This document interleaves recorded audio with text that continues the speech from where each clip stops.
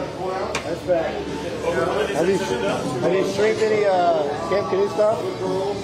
Do you li- literally do you ever talk to me about anything other than streaming? What you, what the, Add a little bit more weight, not much. that's fine. You can do everything. He's doing whatever I'm throwing at him.